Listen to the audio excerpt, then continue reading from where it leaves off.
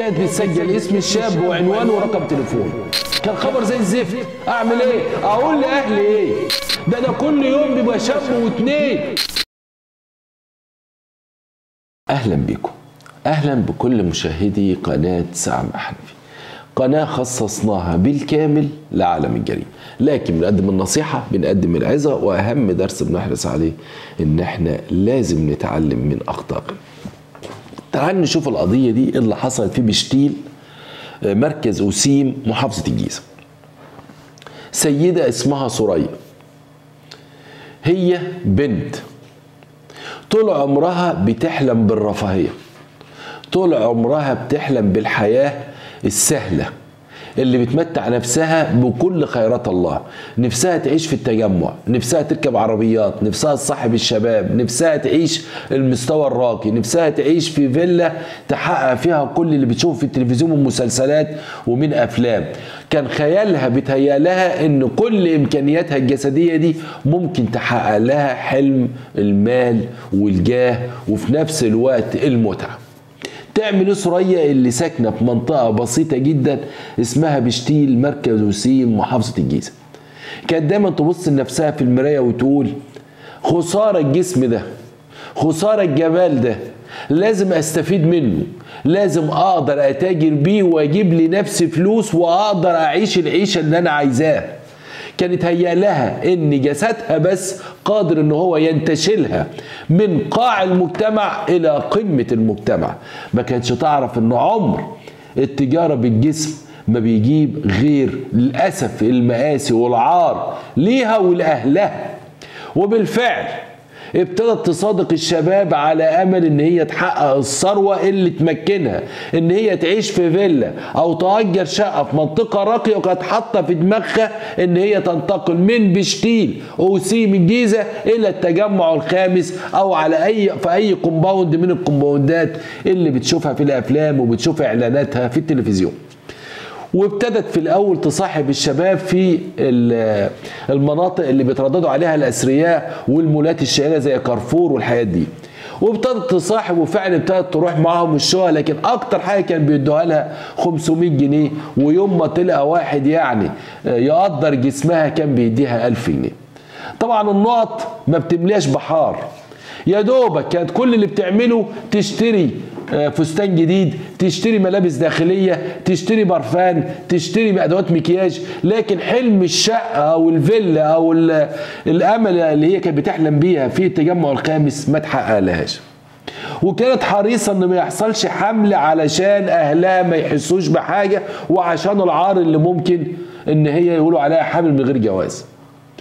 لكن سبحان الله ده في ستات بتاخد وسائل وبتركب وسائل ورغم كده بيحصل حمل. إنها إرادة الله فلا معقب ليها. وبالفعل البنت أصبحت حياتها كلها. لا الأب عارف حاجة ولا الأم عارفة حاجة ولا بيسألوها اللبس ده منين ولا البرفانات دي منين ولا المكياج ده منين ولا بتخرجي إمتى ولا بترجعي إمتى ولا فارق معاهم حاجة خالص. كل الأم تقول لك أنا عارفة بنتي ومربيها كويس. والأب بيقول لك هيجرى لها يعني؟ ما سنها زي سن البنات خليها تعيش لها يومين. ما دام ما بتقوليش هات وما بتقوليش هات فلوس خليها براحتها. ده هي بتدخل علينا بالخيرات.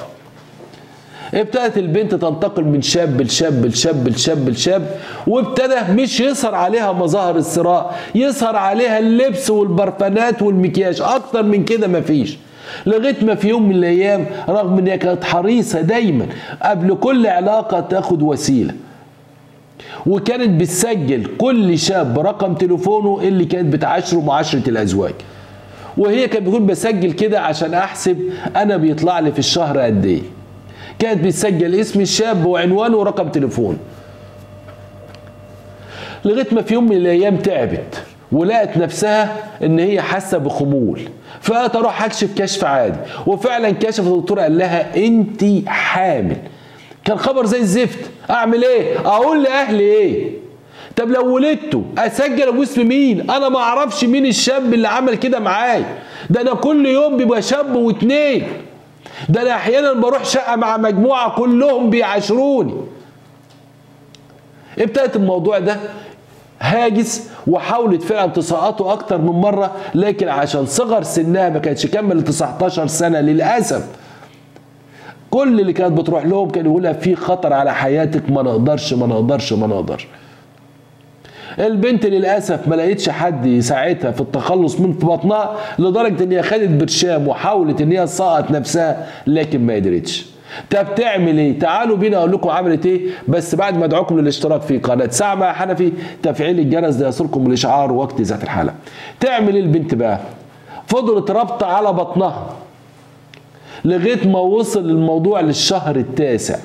وبعد كده ابتدت تجيب الليستة اللي فيها أرقام الشباب هي عايزة تعرف مين أبوه. طب هتعرفوا إزاي؟ ده الليستة فيها شباب كتير. ابتدت تجيب أنا في الشهر الكام يا دكتور قال لها أنت في الشهر التاسع يعني معنى كده إن من 8 أشهر أو من 7 أشهر أو من 9 أشهر جابت اليافطة بتاع المذكرة اللي كاتبة فيها وابتدت تشوف الأيام اللي ممكن تكون نامت مع مين فيه وابتدت تتصل بيه تقول له أنا حامل. لقت إن كل الشباب اللي هي مارست معاهم كلهم عملوا لها block وقالوا لها إحنا ما نعرفكيش. وكلهم تنكروا لدرجة إن أحد الشباب قال لها خلاص لما تولدي نبقى نحلل ال DNA وكلهم هربوا منها وما لقيتش حد يساعدها إن هو يكتب الواد باسمه.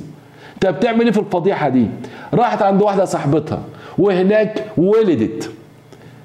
وبعد ما ولدت جت في الليل خدت ابنها وهو لسه ما عداش عليه ثلاث أيام.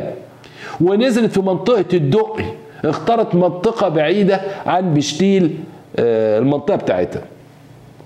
وجت جنب بيت وراحت رامية لفة بيضة وراحت حطها جنب بيت وراحت ماشية وقالت الحمد لله خلصت من عاري.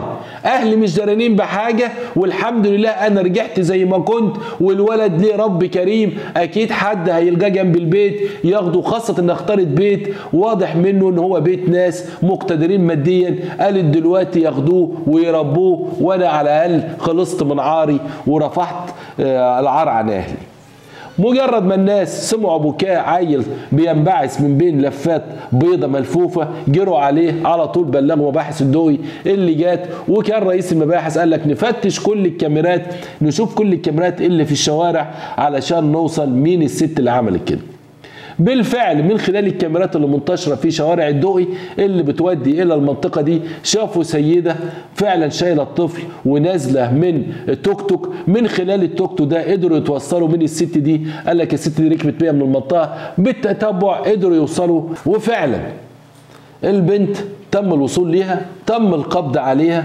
إيه يا ست اللي حصل قالت أنا حملت نتيجة حصل حمل نتيجة معاشرة الأكتر من شاب في وقت واحد وعلى مدار أسبوع واتنين وشهر. فبالتالي حصل حمل وكنت لازم أتخلص منه خوفا من العار على أهلي وفي نفس الوقت كنت هسجله باسم مين؟ فتخلصت منه. تم القبض على الأم تم إيداع الطفل في المستشفى لأن الطفل كان اتعرض لنوبة برد شديدة جدا أدت إلى إن هو حاليا في جهاز الخاص بالأطفال. لمحاولة إنقاذه. شفت الام عملت إيه؟ شفت العلاقات الغير شرعية بتوصل لفين؟ شفت عدم الخوف من ربنا خلى الست تعمل إيه؟ هنقول إيه؟ لله الأمر من قبل ومن بعد. أشكركم.